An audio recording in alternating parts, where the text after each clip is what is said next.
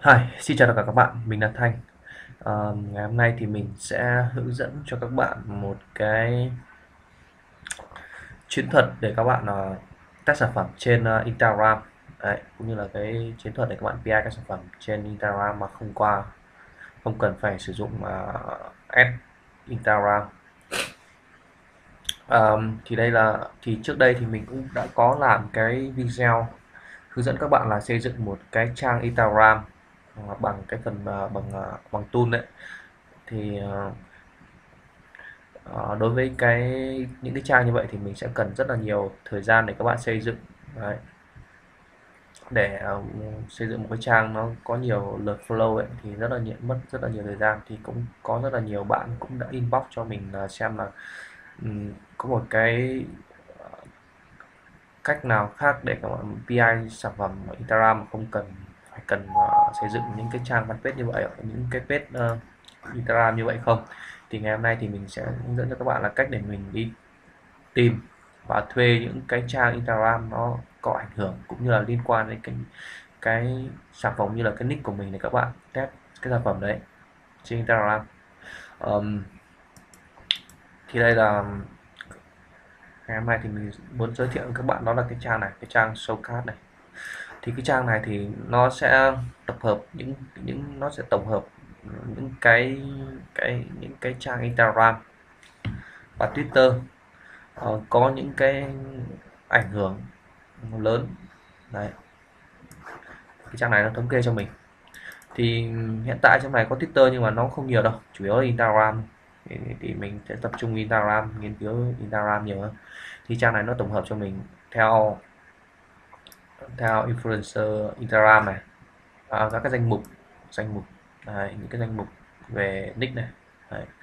rồi là nó sẽ ừ, phân loại cho các bạn theo ngôn ngữ này theo quốc gia này rồi theo độ tuổi đấy, giới tính này rồi là cái thời gian hoạt động này số lượng follow này và điểm đánh giá cái điểm đánh giá hay nó cho mình những cái trường để lọc để các bạn à, mình à, mình nghiên cứu chi tiết được cái cái đối tượng của mình cũng như là cái nick của mình các bạn muốn các các sản phẩm bằng cách là các bạn thuê thuê ừ, thuê những cái trang này. À, mình sẽ thuê post thuê bài post lên những cái trang này. Đấy. Thì ở đây thì ví dụ là đây mình search một cái nick đó là cái nick dog. Đây ví dụ dog nhé. Mình chọn là độ tuổi này. Mình để từ ví dụ là từ từ 25 34 đi. Đấy, ok. Quốc tịch Mỹ này ngôn ngữ này tất cả này sẽ dệt tất cả thời gian ok. Không sau đó thì mình sẽ update. Update thì bây giờ mình sẽ search ví dụ như doc đúng không? Đây ok mình đã search rồi.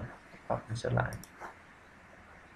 À, thì đây nó sẽ lọc ra cho mình những cái trang Instagram nó liên quan đến cái chủ đề về cái nick doc này. Đấy. Thế thì mình sẽ quan tâm đến nhất là cái lượng uh, số lượng follow trên cái trang đấy này. Đấy. hai là cái điểm thứ ba là cái giá cái giá cho mỗi cái bài post. Trên những cái trang này sẽ có giá như nào trên mỗi trang. Đấy. Được chưa? Thế ví dụ đây mình sẽ chọn cái trang này. Đấy, các bạn kích vào. Thì đây thì nó sẽ mô tả về cái đối tượng của mình. Đấy. mô tả mô tả này. Đấy. đây thời gian này, quốc gia này, độ tuổi này, giới tính này, thời gian hoạt động này là buổi chiều từ 1 giờ đến 6 giờ này.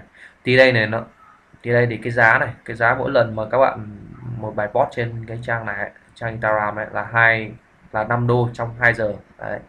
Thì ví dụ đây mình sẽ ừ, khi mà các bạn chọn đây, ở đây nó chọn được những cái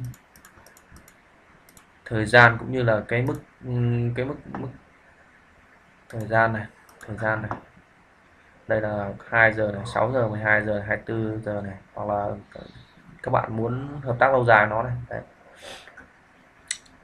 Um, thì uh, đối với cái uh, đối với cái thằng Instagram này để mình test sản phẩm thì các bạn lúc mới đầu thì các bạn sẽ nên test với cái cái số lượng nhỏ thôi. Ví dụ là 5 đô này tầm 5 đô thôi mình sẽ post cái bài post lên cái trang này. Thì các bạn sẽ theo dõi xem là cái độ hiệu quả của cái cái bài post đấy trên cái trang này nó như thế nào đã. Thì các bạn mới tiếp tục là mình có thể thuê cũng như thuê tiếp cái trang này, hoặc là các bạn có thể là mình tìm những cái trang mà nó có cái lượng, cái điểm đánh giá như là cái lượng tiếp cận nó cao hơn. Đấy, để mình mình test cái sản phẩm đấy.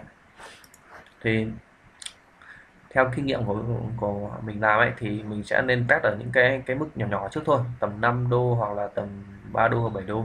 Đấy thì khi sau khi mà cảm thấy có hiệu quả thì mình, mình bắt đầu mình sẽ thuê những cái post ở những cái cái trang nó có lượng follow cũng như là cái cái mức phí nó cao hơn. Đấy thì thì thứ nhất là nó đảm bảo được cái hiệu quả cho mình cũng như là tiết kiệm chi phí. Thì nếu mà mình một phát mình vào mình đăng ký ngay những cái trang lớn này chi phí như này này thì rất là cao. Đấy thì mình cứ cái cái chiến thuật an toàn nhất đấy thì các bạn mình sẽ thuê những cái trang mà nó có cái lượng lượng lượng giá cũng như là cái follow nó thấp nhưng mà có cái lượng giá thấp một chút. Lượng giá nó cũng vừa phải để mình test trước cái sản phẩm đấy. Xem hiệu quả hay không thì bắt đầu mình mới mở rộng ra những cái cái trang mà nó có cái lượng follow cao hơn nhé đấy. Thì uh, các bạn uh, sẽ tạo tài khoản đây thôi. Thì cách sử dụng nó rất là đơn giản thôi. Khi mà các bạn uh, tạo tài khoản nạp tiền ở đây thì thằng này nó hỗ trợ là nạp tiền từ PayPal và hoặc là trên credit card vào. Đấy. Thì khi mà các bạn chọn được một cái, đây, cái đơn hàng này, ví dụ này, mình sẽ show out cái này trong vòng 2 tiếng. AutoCAD này. Đấy. check out. Ok.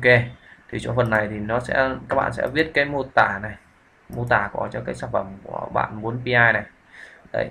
Gọi là hình ảnh hoặc là video này. Các bạn muốn quảng cáo bằng video là hình ảnh ấy. Đây được chưa? Tiếp đến là cái thời gian, các bạn muốn chọn cái thời gian để cái bài post đã được public. Này sau khi xong thì các bạn submit và đợi đợi à, bên này nó xử lý. Sau đó nó sẽ thông báo cho bên mình. Ừ. đấy.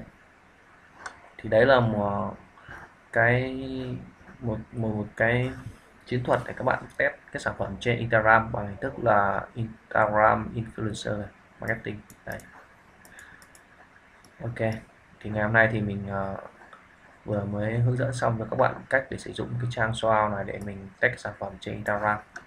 Thì các bạn có những cái câu hỏi hoặc là thắc mắc gì sau khi xem xong video này xin vui lòng để lại cái comment trên uh, bài viết thì mình và những thành viên trong group sẽ hỗ trợ các bạn giải đáp những cái thắc mắc của các bạn.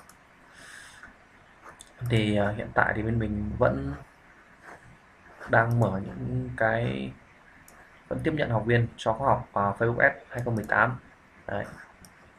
2018 cũng như là cái dịch vụ xây dựng uh, store tư vấn xây dựng store Shopify thì các bạn sẽ uh, có thể là liên hệ trực tiếp qua mình hoặc là qua fanpage để mình sẽ giải đáp cũng như là hỗ trợ để các bạn xây dựng một cái store nó chuyên nghiệp cũng như là là theo chuẩn nhất để các bạn làm Shopify đấu shipping 2018 ok, thì ờ, video ngày hôm nay thì mình ờ, xin phép tạm dừng ở đây. Xin chào và hẹn gặp lại tất cả các bạn trong những cái video tiếp theo.